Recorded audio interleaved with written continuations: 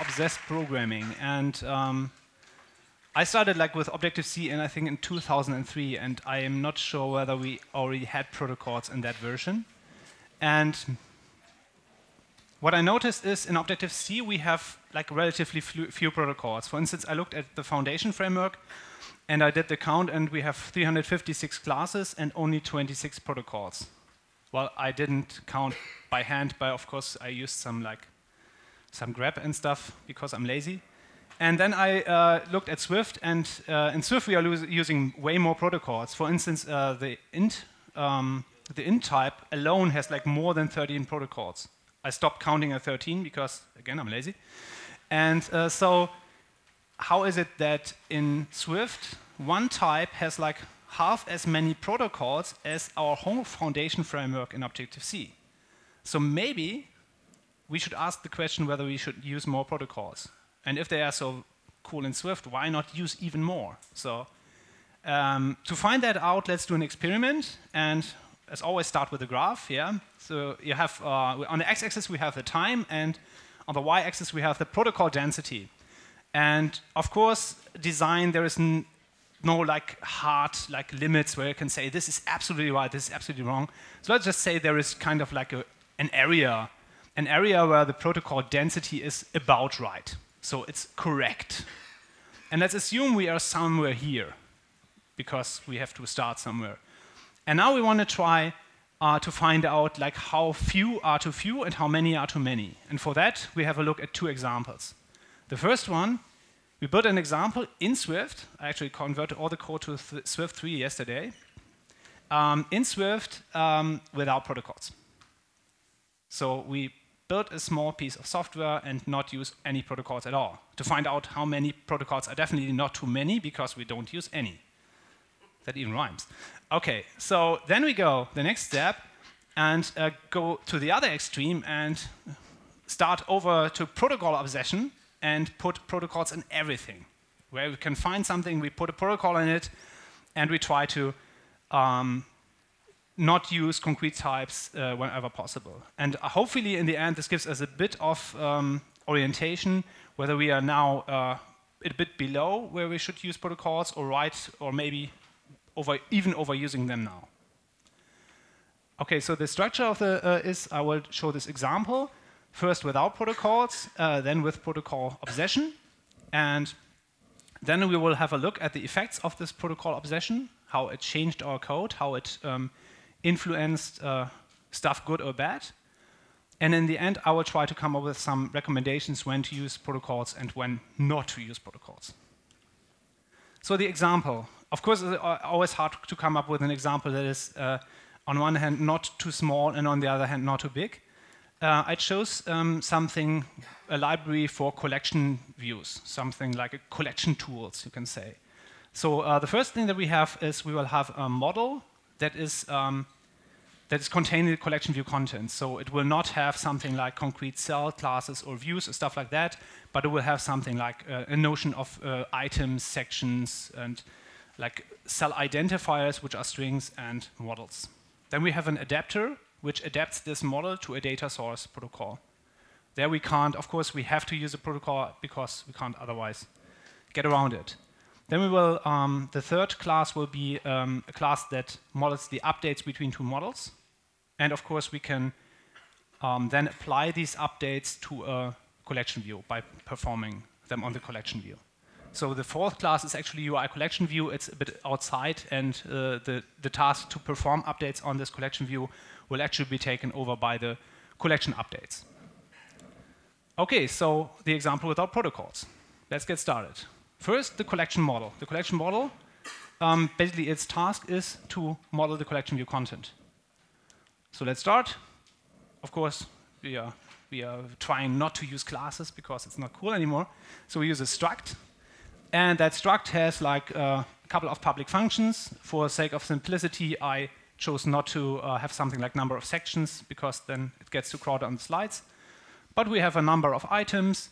In a section, we have a cell identifier at a certain um, uh, uh, cell identifier at a certain index path. We have a cell model at a certain index path. And of course, we need some way of constructing these structs. So we have a, one method that uh, one method that allows us to to add a cell identifier and a model basically appended to this collection model. So very simple, normal struct. Um, I took out the implementations because it's uh, about the more about the interfaces in this talk. The second part is uh, we need something. Now we have this collection model, and now we need this collection model to somehow like speak the language of a collection view data source. And for that, we use a, I call it a data source adapter.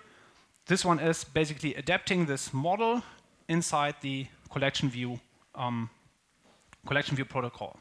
Uh, sorry, collection view data source protocol.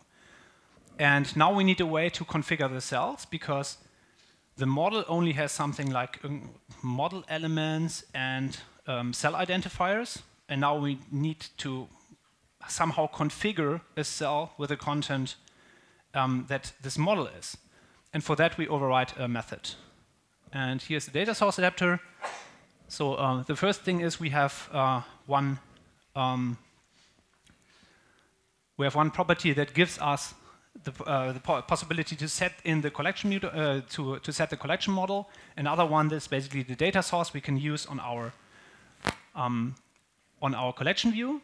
And then we have this plug-in method we can override, which uh, is named configure cell at index path with model. So whenever now um, we use this, um, this method will be called for each for each entry inside this model to um, put data inside the model. Now we'll have a look at the usage. How do we use that? First, um, here's a simple example. We say we just have one cell type that has a reuse identifier cell. And uh, now we make our subclass of this uh, collection data source adapter. And inside the configure method, we just uh, basically know we only get one cell type and one model type.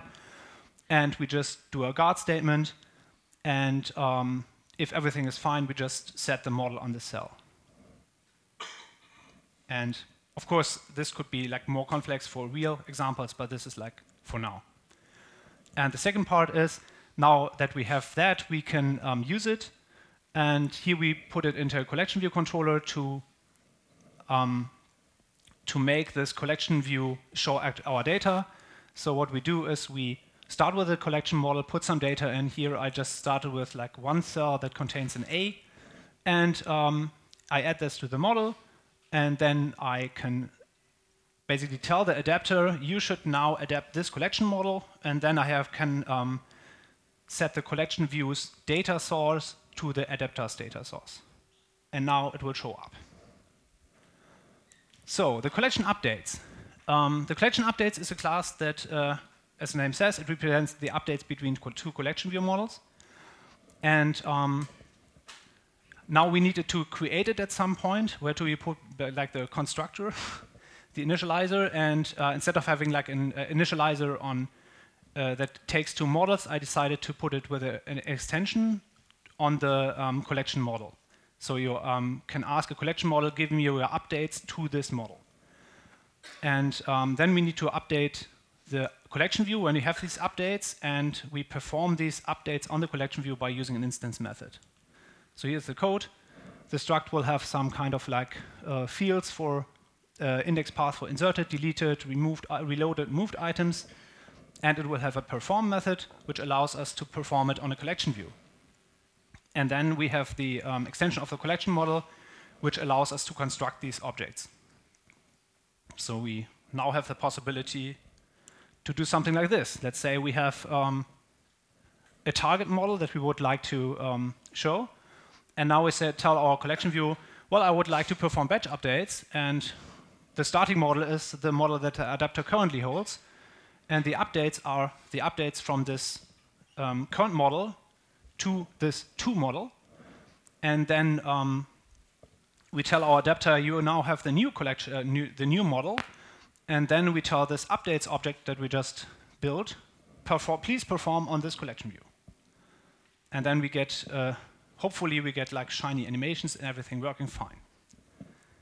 Okay, so this was the class example without any protocols. Does anyone feel like this is like enough protocols? None? Okay. okay. At least one, but uh, I don't think so. so uh, now we need to uh, do the same thing with protocol obsession. And protocol obsession is for me that I try not to expose any concrete types like classes, structs, or enums. I only want to expose protocols. So basically, whenever I have something that's public and is a struct, it's wrong. Whenever it's a class, it's wrong. Whenever it's an enum, it's wrong. Just try only to expose protocols. And then, of course, we have the problem if we only get uh, have a public interface that is composed of protocols, where do we put object construction? And for now, I just said, okay, I simply use like functions on uh, my module, which uh, will work fine for object creation. So I will have only protocols and functions in the end.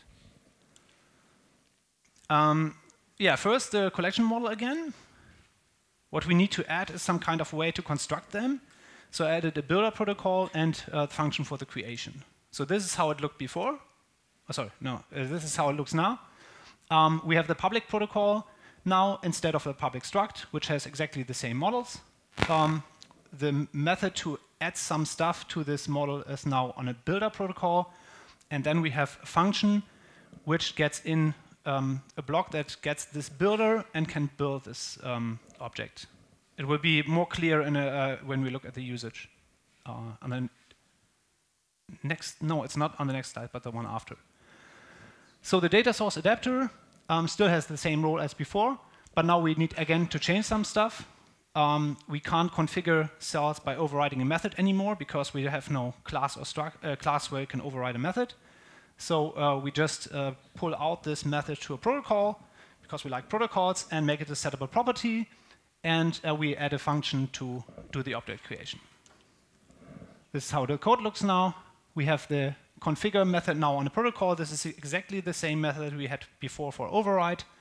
The protocol um, for the collection data source adapter gets one uh, additional um, gets one additional property, which is the cell configurator, which we can set, and then we have the construction function, which basically uh, is our replacement for the init.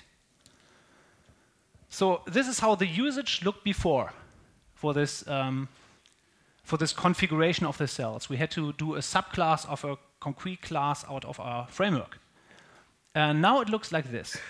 So there is a tiny difference, but not that much, because now we can just uh, make the um, implementation of that method on any type we want. We can do it, just do it on a struct instead of like doing it on a concrete subclass. Of course, that means we also lose this override, um, this override keyword because we're not overriding anything anymore. Other than that, it's exactly the same code. So not much change. Um, for the initial initialization inside the viewDidLoad, load, uh, this is how it looked before, and this is how it looked after. Again, not much change. Of course, because we have not this concrete subclass anymore, but uh, we switched to, in the uh, second line, we switched to the um, construction by using this uh, function. And uh, we switched to the, over to the new kind of um, how we initialize the model here. And we have to set the cell configurator on the adapter. But again, not, not that much change. So the last thing we have is um, we have this creation uh, via the, um, uh, sorry, we have the collection updates. The collection updates, we now, we had before, we had um, the class extension, which was used to um, create these objects. Of course, now it becomes a protocol extension because we have no classes anymore that we expose. And uh, when we do updates on a collection view, it's bad because collection view is a concrete class, so we instead add a protocol there as well so that we can basically apply this to anything that has a certain target protocol. Here's the code for that. Um, we now have a public protocol collection updates. And we need some changes because in protocols you can't say let, you can have instead to say it's a, a variable property which has a, only a get, um, which only has a getter, not a setter. Then this, uh, the perform on function now oh, was one too far. The perform on function now uh, lives in its uh, on uh, on an extension of collection updates, and the last part basically stays unchanged because there's nothing to change here because um, before collection model was a class, now it's a protocol, uh, uh, it was a struct, now it's a protocol, so it's no difference there.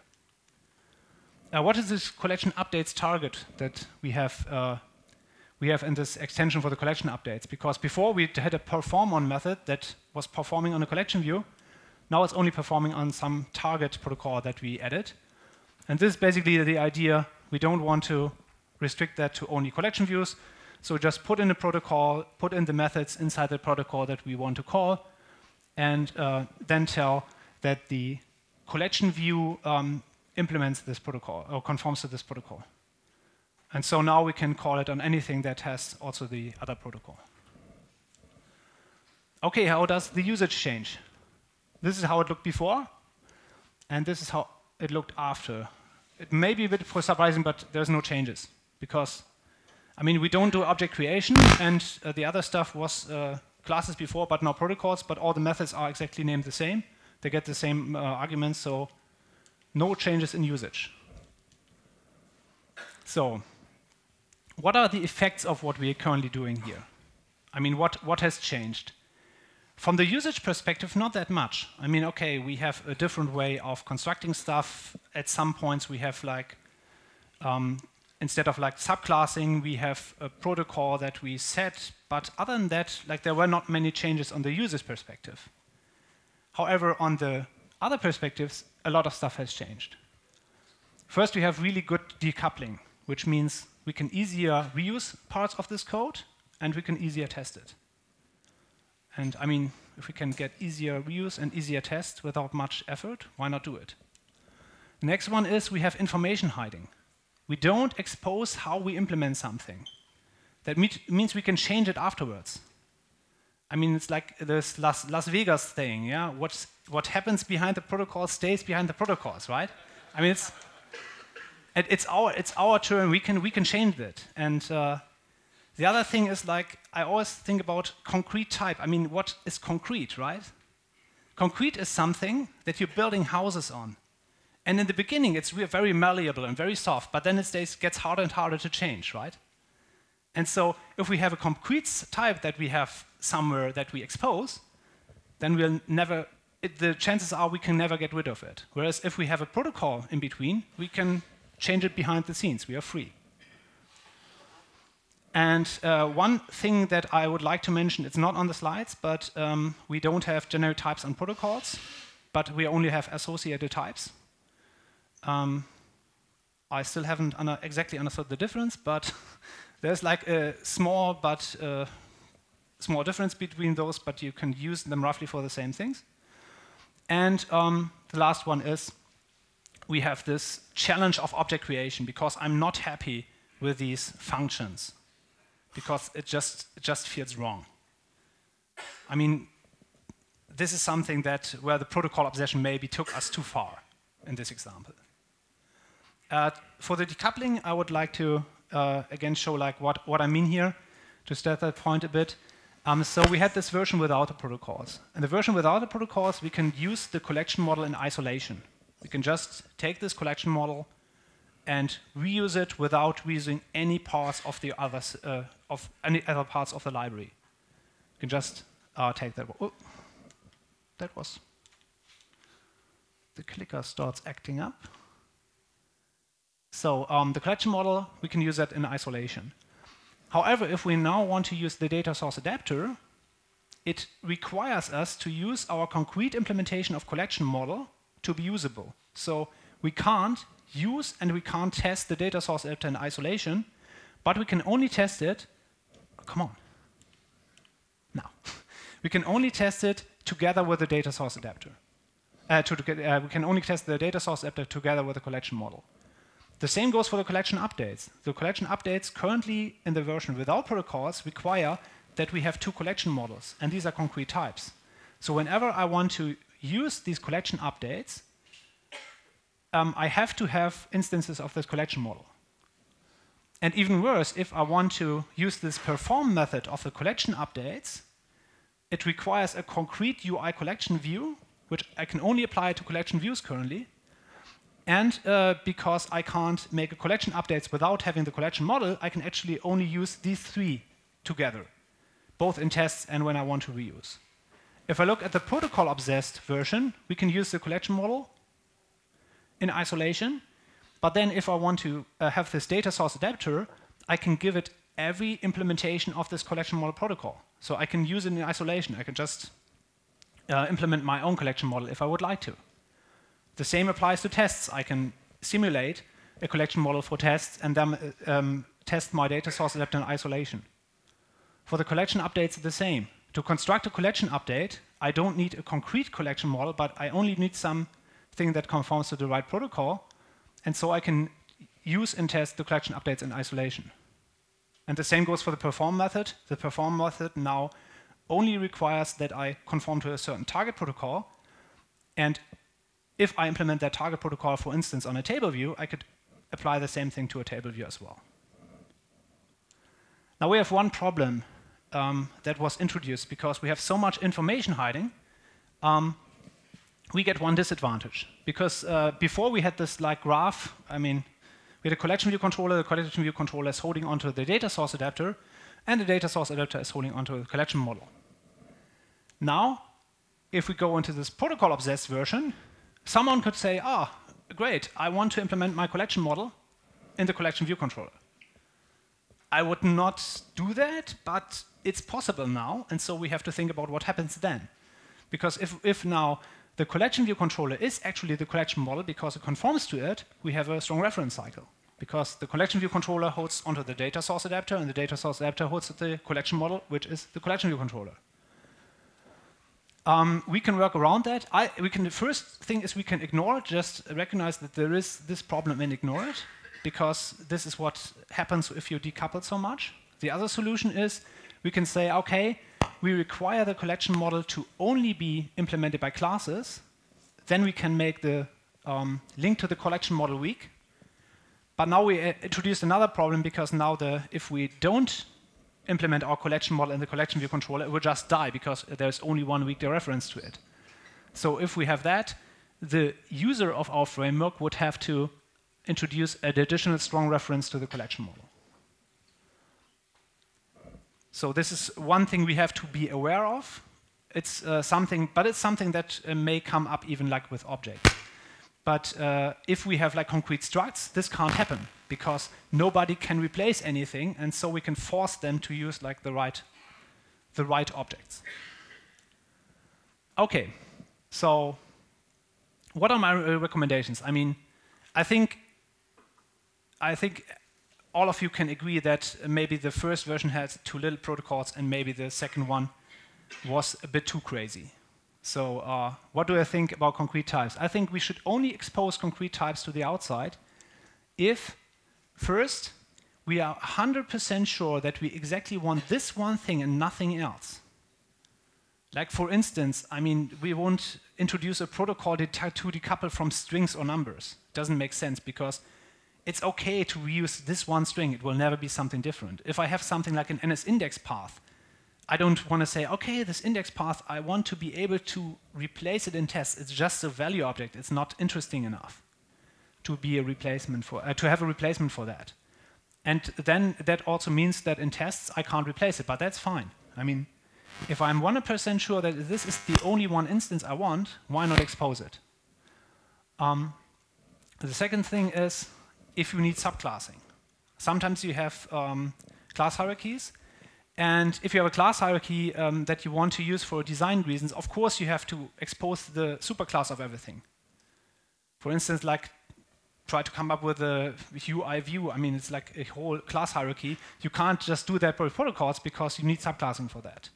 Because you can like try to shift around by use sub protocols, but that's kind of cheating then. Just uh, expose the class. Of course, this only applies if you have actually a class and not structs. And the last one is, and this is the way around these uh, horrible like functions, if you have a default implementation for something that you want people to use. For instance, uh, with a collection model, you have a collection model, a default collection model, or maybe you call it the simple collection model because it has nothing added. Then you could expose this struct, but still keep the protocol. And so it will feel natural to um, to construct these objects or these uh, instances, but you won't have this thing that it, yeah, that it feels like it's not right code because nobody uses like functions on the modules. And so the question in the beginning I uh, asked, like, should we use more protocols? And my answer to that is, it's worth a try. Thank you very much.